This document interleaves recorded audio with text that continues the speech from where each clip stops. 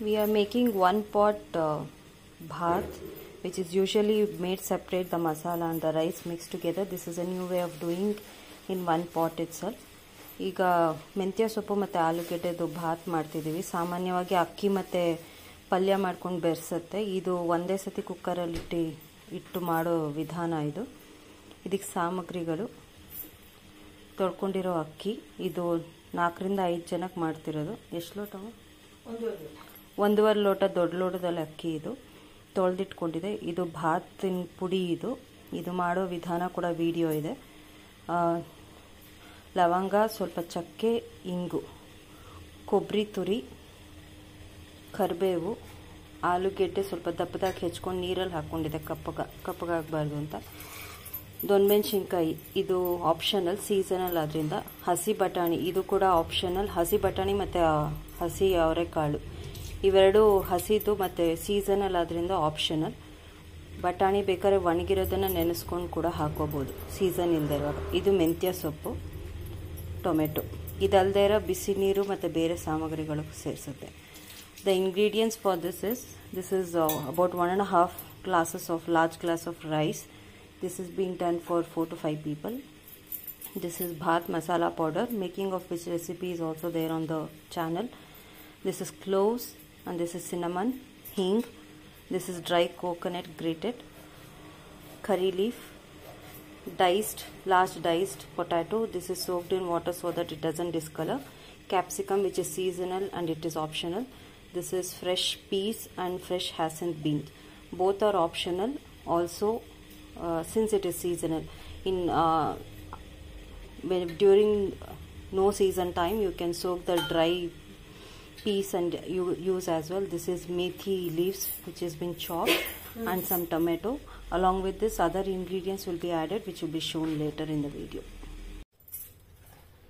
keep the cooker on uh, stove to get heated alongside keep some water 1 is to 2 or 1 is to 3 depending on how the rice is and let it boil ನೀರು ಕುದಿಯೋಕೆ ಇಟ್ಕೊಂಡಿದ್ದೀವಿ cooker ಬಿಸಿ ಆಗೋ ಅಷ್ಟರಲ್ಲಿ ಒಂದೂವರೆ ಅಥವಾ ಎರಡು cup ಅಷ್ಟು ಎಷ್ಟು ಅಕ್ಕಿ ತೋತಿರೋ ಅದ್ರ ರೇಷಿಯೋ ಮೇಲೆ ಡಿಪೆಂಡ್ ಆಗಿ ನೀರನ್ನ ಕುದಿಸ್ಕೊಳ್ಳಿ.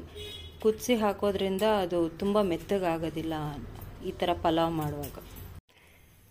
To the heated cooker add some oil and ghee as well ಎಣ್ಣೆ ಮತ್ತು ತುಪ್ಪ ಹಾಕುತ್ತಿದೆ. ಬಿಸಿ ಆಗಿರೋ ಕುಕ್ಕರ್ಗೆ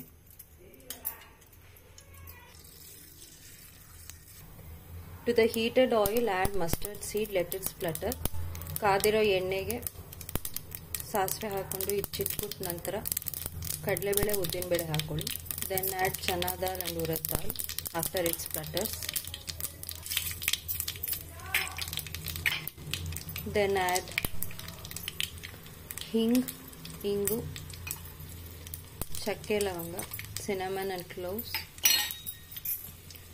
ಟರ್ಮರಿಕ್ ಅರಿಶಿನ some dry chilli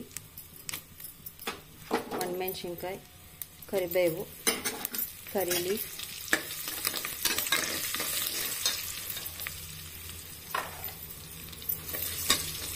let the dal become little bit red ಸ್ವಲ್ಪ ಕೆಂಪು ಆದಮೇಲೆ ಬೇಳೆ ಕ್ಯಾಪ್ಸಿಕಮ್ ದೊಣ್ಣೆಮೆಣಸಿನ್ಕಾಯಿ ಹಾಕಿ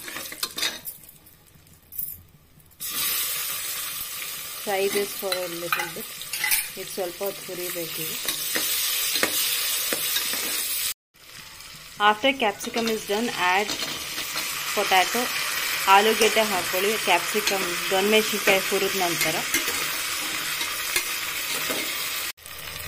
ಟೊಮೆಟೊ ಸೇರಿಸ್ಕೊಳ್ಳಿ ಆ್ಯಡ್ ಟೊಮೆಟೊ ಮೆಂತ್ಯ ಸೊಪ್ಪು ಸೇರಿಸ್ಕೊಳ್ಳಿ add methi leaves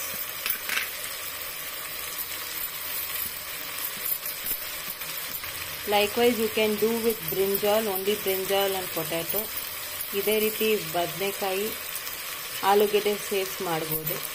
ಬೇರೆ ಯಾವ್ದು ಭಾತ್ ಮಾಡಿದ್ರು ಈ ವಿಧಾನದಲ್ಲಿ ಮಾಡ್ಕೋಬಹುದು. This can this method can be done with any of the other bath which you will do ಈಗ ಅವರೆಕಾಳು ಮತ್ತು ಬಟಾಣಿ ಸೇರಿಸ್ಕೊಳ್ಳಿ. Add hyacinth bean and peas ಇದಕ್ಕೆ ಈಗ ಅಕ್ಕಿ ಕೊಬ್ಬರಿ ಮತ್ತು ಭಾತಿನ ಪುಡಿ ಸೇರಿಸ್ಕೊಂಡಿದೆ rice Bhat powder and dried coconut, grated dried coconut has been added. Mix it well.